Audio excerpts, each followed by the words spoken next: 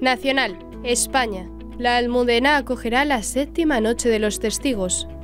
El próximo 24 de febrero, viernes a las 7 y media de la tarde, tendrá lugar la séptima Noche de los Testigos en la Catedral de la Almudena de Madrid, organizada por la Fundación Pontificia Ayuda a la Iglesia Necesitada, ACN. Se trata de una vigilia de testimonios y oración por los cristianos perseguidos en el mundo.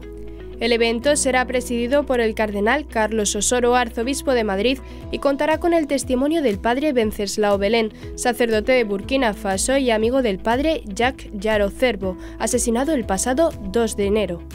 Junto al padre Venceslao contará su testimonio de persecución Freddy Hanna, cristiano de Siria. En el acto se rezará por los cristianos que han muerto por su fe en el último año en todo el mundo, con una especial atención al sacristán Diego Valencia, asesinado en un atentado yihadista en Algeciras el pasado mes de enero. Además, en el aniversario del comienzo de la guerra en Ucrania tendrá lugar una oración especial por la paz en este país. Qué bien viene a nuestra vida y a nuestro corazón ver testigos de Cristo y experimentar que atreverse a estar en comunión viva con Cristo es posible, afirmó el cardenal Carlos Osoro en la pasada edición.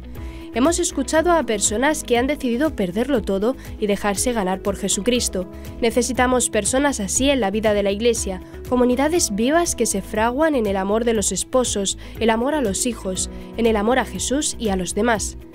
En esta ocasión, la vigilia estará acompañada con la música del grupo de jóvenes de la Delegación de Juventud de la Archidiócesis de Madrid. Se podrá seguir de forma presencial desde el canal de YouTube de ACN.